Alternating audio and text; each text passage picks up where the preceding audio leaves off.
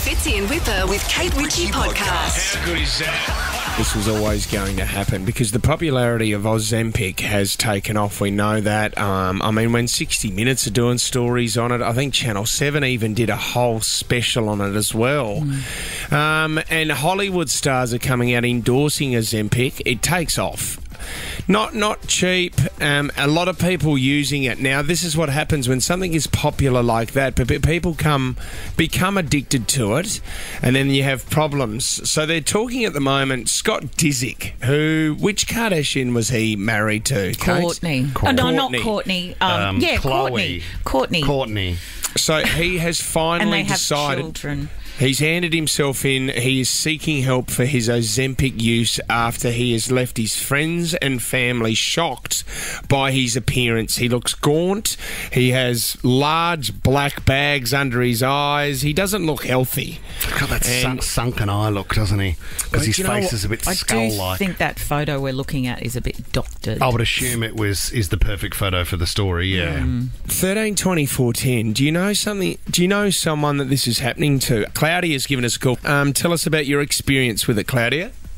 Um, I think it's a bit of both positive and negative. I can see why people get addicted to it because when you do go on it, you can lose weight so quickly. But also, I've seen the scary side of the side effects as well because I go on it and I get off it um, because I do faint from it and I, I do feel quite sick being So on it. you've been on it. You had rapid weight loss. How many kilos did you lose? I'm 25 kilos, Wow. Over what what time period? N- nearly a year, a bit less than a year. Okay. Did- and did and then you- you went off for a while, did you? Yep, and now I went back on it again. So you fainted a couple of times, Claudia. You, you, are you worried? Do you feel healthy, or are there moments where you, the nausea is just too much for you? it sometimes does get scary because you do get quite nauseous and quite you feel quite ill and then you go why are you doing this to yourself and then you think oh because there is somewhat health benefits you are losing weight you can get I've lowered my blood pressure medication because of it and you Yep. think of the positive and then you go but is it really worth the long term What, is- Okay. what does your day on a plate look like? Are you eating much at all? no I'll have a morning like a meal replacement shake for breakfast some grapes at lunch and then a bit of steak at dinner that's about all really Okay. Good effort. Not Okay. much. I'm hungry. Denise, you had some drastic side effects with the Ozempic. Is that getting on it or getting off it, Denise? It was actually while I was on it. I ended up losing about eight kilos, which was great. Yep. But I ended up going to the doctor and having a blood test, and it actually affected my liver. Yeah. In what Um, way? So, well, I end up having Dysfunction. uh, from the function and function. Yeah. So I, my doctor recommended go off it, and as soon as I went off it, I actually ballooned. Right. Wow. The weight, beyond the weight where. came back, And the, more? The weight came back with a vengeance. Yeah. Right. back. Over So what period of time did you stack it rapidly? Probably for about six months. Okay. afterwards, and it was yeah. And then I've been on another diet, which has worked amazingly. I And is that some of is that these a healthy diet or is that a drug, Denise? Oh no, healthy, very healthy Great, diet. great. Like eating Yeah. six times a day, small meals. But it, yeah, basically, it just speeds your metabolism up, which is amazing. Well, I mean, if you had to go through that to find something that works, that's awesome. Well done. Sue's actually, well, she uh, she recommends it. So, what are your experiences with the Ozempic, Sue? I had really high blood pressure, It was passing out at work all the time. And so my doctor said to me, and I was a bit overweight, not massively, but he said, I'm going to try you on a Ozempic and see if we can get some weight off and lower your blood pressure. My blood pressure's gone down. I'm not having any more giddy attacks. I was on the full dose of Ozempic, which I lost 19 kilos since January, and now I'm back to having just half a dose, and I feel fantastic. My appetite is a bit suppressed, but I only eat what I feel like eating. I don't Yep. Push myself to eat, but I still eat healthy, and I feel great. If there's education around it, I think it can work, can't it? Because if you need weight loss to, to, to lower other levels within your body, Yeah. but you know it's a temporary fix, which is going to be part of an educational program. Yeah, but I look, I think, like with most drugs, there are parts of the community that are going to misuse it, and I think oh, that, Oh, yeah. that's where the I just, issues I'm are. a little bit worried about doctors prescribing it. I, look, for diabetics and for people that need in their life, obviously that's what it was prescribed for. But if you, like, if you were prescribed it, whip, I just don't. I, No, not me. I don't understand that. That that just. I, I don't know. It gets me down. I feel like it's a quick fix for a doctor, but you trust that profession. That's uh, that's something that I don't think that needs to Well, be then You just need to think it is something foreign, and if there's other ways of doing it as a healthy option, then maybe so, depending on your size. This is the Fitzy and Whipper with Kate Ritchie podcast. I want to talk about nicknames because I even just reading the article, oh, I lolled in the. Oh, you in- lolled a bit, did you? I lolled in the Home Office because I think the most. Okay, I don't like nicknames when people have given themselves nicknames. Yeah. But I love a nickname, and it's a bit mean. But that the person who you've nicknamed doesn't know it's their nickname. And it's just a little joke between friends, like, oh, we call such and such up the corridor. Uh, I'll give you an example because I'm not doing it very well, am I? So give us a call if you've No, got no, a, a funny name for someone at work, and then we can reveal what we call um, Whipper behind his back. It's Well, hilarious. That's what I was sort of waiting for because I noted that on the ideas list, and then we can reveal to Whipper what we call him.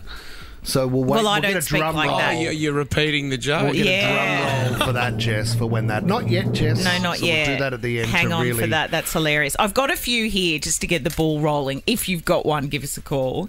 Um, there's a, they've surveyed all these people. So there's one guy, and I don't know. He's got a busy street, a very busy street, but doesn't know the name of the neighbours except for the nickname. So they they call one guy the Torch up the road. Mm-hmm. Um, he's he's now moved on, which is probably for the best because there was no do-it-yourself job around the house or around the yard that he wasn't prepared to set himself on fire for. so they called him they called him the torch. I love this one. We had a dead Dave down the street because this because no one had seen Dave for a while, so everyone thought he died. Oh, did you know Dave died? No, he didn't die. Oh, but now they just call him Dead Dave. Yes, they call they call another guy Thong Man, and that is because apparently the wife, um, he, this guy's wife, who's telling us the nicknames, a parcel arrived on their doorstep that wasn't from them, and they opened it up, and it was a pleather thong.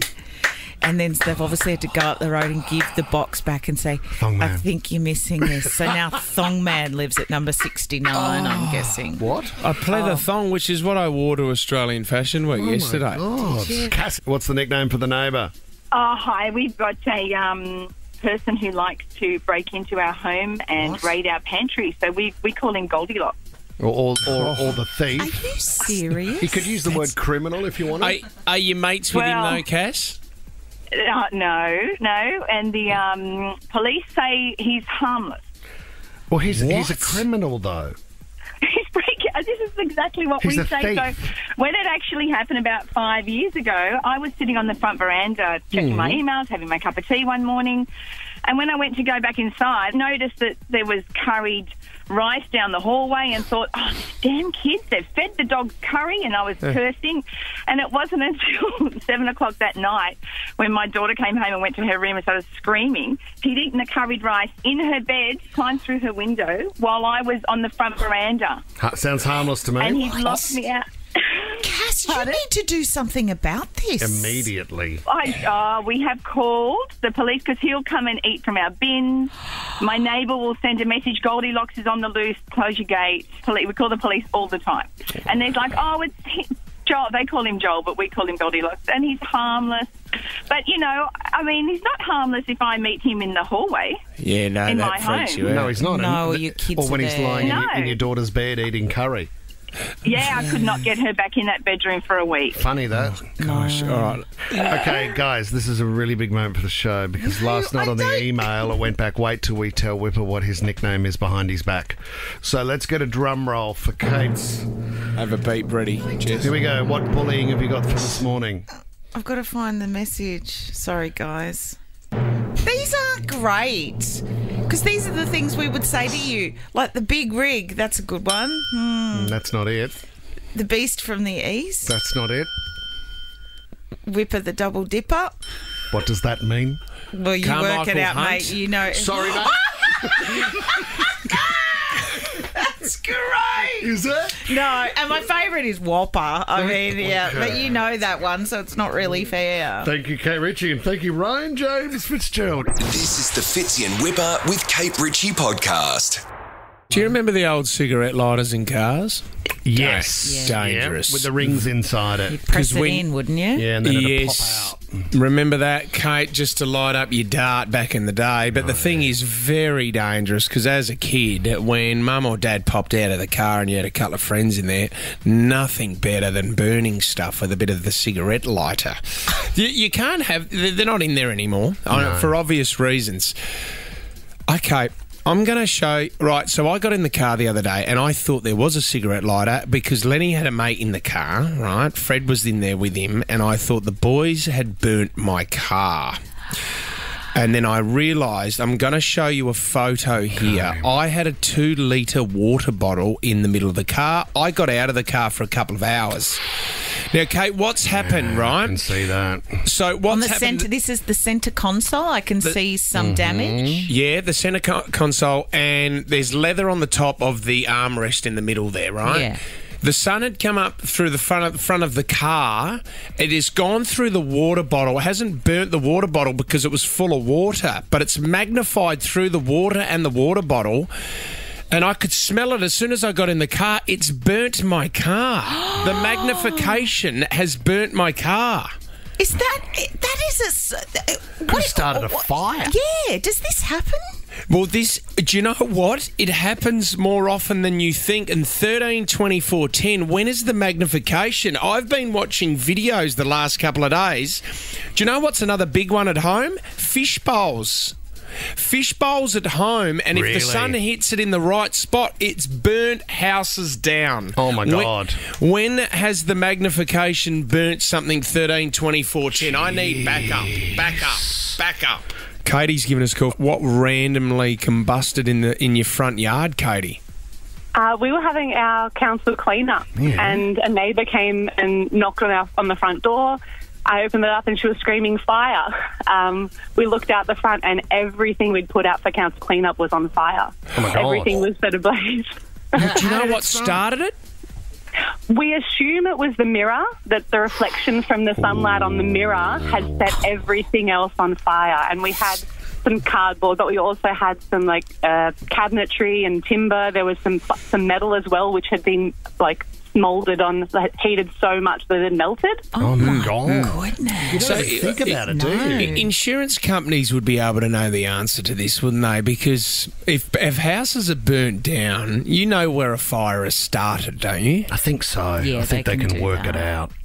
Katie, Right, that's Kate- an unbelievable story. Let's go to Kate now. And what was set alight at your place, Kate? Yeah, hi guys. Um, so I had a little like face mirror on a table on my balcony, um, and it had been sitting there for I don't know about six hours. And I was about to go out for a walk, and I a friend rang, and I just happened to go and sit on a chair out on the balcony. Yeah. And as I was sitting there, the reflection from the mirror um, set fire to one of my outdoor chairs on the balcony. Oh, that is so scary. Yeah. That is Thank so God scary. you took that phone call. I know, and the person who rang me, I hadn't. They never ring, and I was like, "Oh my god!" It's like I can't believe we As- were just about to leave the house. As long as your eyebrows looked good, though. well, that's right. That's why I had it out there. Oh, that's the well. I, I'm putting. Uh, well, Jeez. I'm putting all the because I've got a mirror in every room in this house. That one on, the one on the ceiling you've got. I'll have to get that down. Warnie, Warnie came home and, uh, and burned a few rooms as well. Unfortunately, Ali, what happened to when you were when you were driving, Ali? So I had a deodorant can in my car. I was driving an old school Beetle at the time, and then all of a sudden, it's like I heard a bang, and I just assumed, you know, it's an old car. Mm. But my deodorant can had exploded in the back seat, so luckily I didn't have it in the front, and it cracked the whole can, split in half, deodorant everywhere. Was it from the heat, Ali, or you don't know?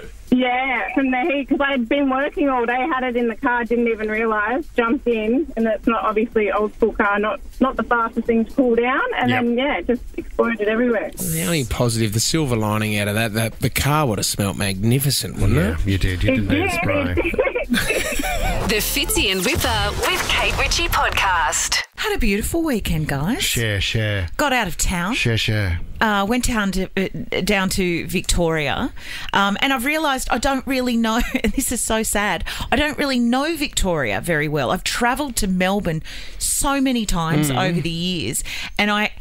Uh, it's embarrassing when I start speaking to people from Melbourne, where um, my knowledge of Melbourne is really just the Logies and staying at South Bank. Just fly down for awards, dude. Oh, Melbourne's so grab great. The, you grab the gold and come home, mate. great food and, and coffee and, and you get your makeup done and Well, go you to the. Logies. And. I know there's much more to Victoria than that. You messaged saying I had the best coffee of my entire life. I did at a place called the Store Mhm. um, on Phillip Island. Yeah, right. Uh, oh, so I went- yes, Phillip Island. So that's a couple of hours out of Melbourne. Is that correct? It did. It took a couple of hours to drive there um, uh, from the airport, and I wanted to go down and see the little penguins. Oh, the fairy penguin. Oh, so the penguins come out of the ocean just on dark, and they kind of waddle up, and it's all very cute. And, and we we partly we did that because my daughter has Pengy, Hmm?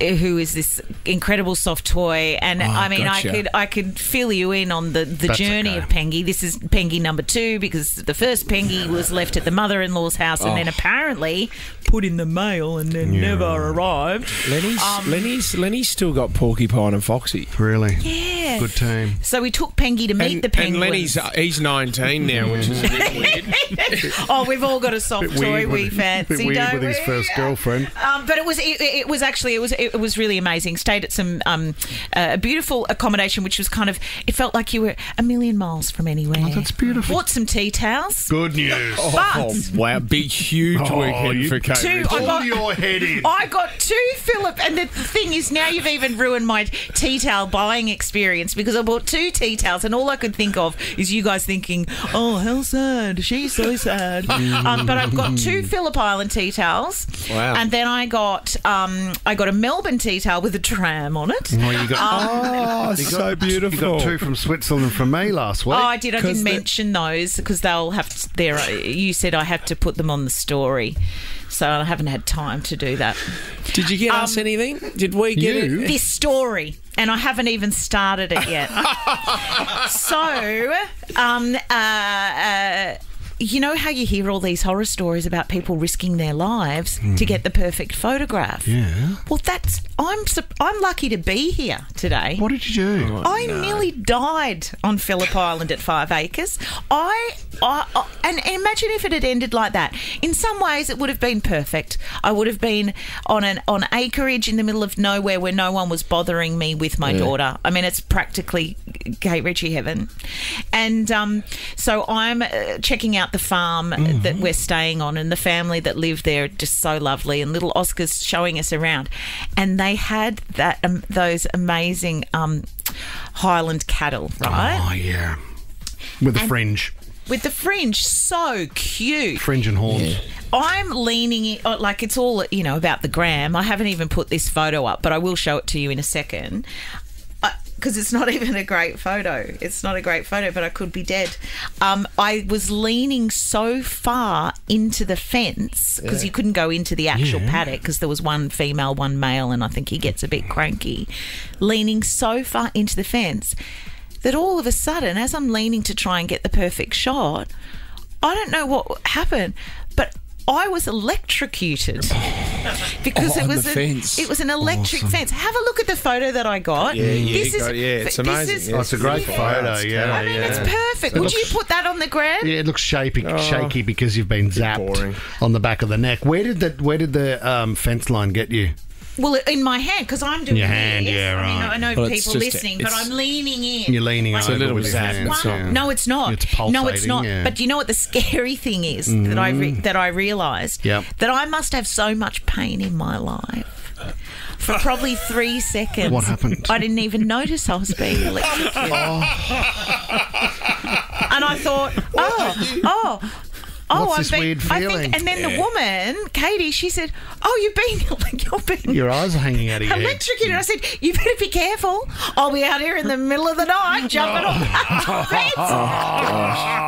Won't be the last time. This is the Fitzy and Whipper with Kate Ritchie podcast. So, how to get out of a conversation? Everybody's been in that moment, and normally, if you're Great. Can- Can I write this down? normally, How if do you you're get out of a break? You're paid to be part of this conversation, Ryan. And Kate, I need three minutes of your time. I Oh, don't do ask I? a lot. Yeah. Oh, but I'm just the sugar on Well, top. the, how good's the sugar? You wouldn't have it without it, would you? Anyway, so when you're in a conversation, and normally if it's a social situation, let's say you're at a party, let's say you're at the pub, whatever it might be, and you've kind of had enough of that chat. Now, normally your go-tos are, oh, that's a great story. I'm just going to get a drink. Do you want one? So you kind of do that one, and hopefully they don't say no, I'm all right. It's because you don't want to bring one back for them. Or the other one is, oh, that's amazing. I'm just going to go to the bathroom. I am busting for a wee. Anyway, great to chat. That's amazing. Good to see what, you. what if they're telling you about their unwell mother? Well, then you give them a little bit more, Like don't what? you? Or you drag. a swap the word amazing out for. Mm, oh, that's that's that's tough. That's really tough. I'm so sorry. Hold that thought. I'm going Yeah. off to the. Yeah, I've got a, got a terrible stomach. I'm sorry, I've got leaky bum at the moment. I better go.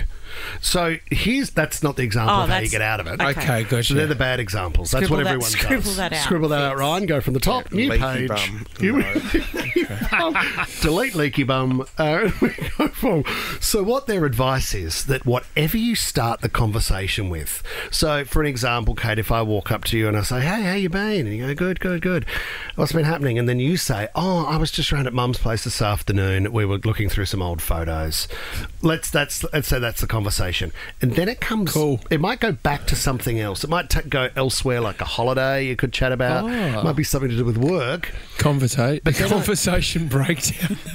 But the, then how I wrap it up to get out of it is I go back to the first topic that we spoke about. Which is my mum. Your mum and the photo album. But this is that's that you're just saying that as an example. If if we had to circle back Yeah, give me to another what one. we first would talk about normally when you approach me is Yeah. something about Is you food. giving me a massage. Okay, yeah, so yeah, or so, something inappropriate. So- you've worked. Hey, Kate, you've worked your buzzies off today.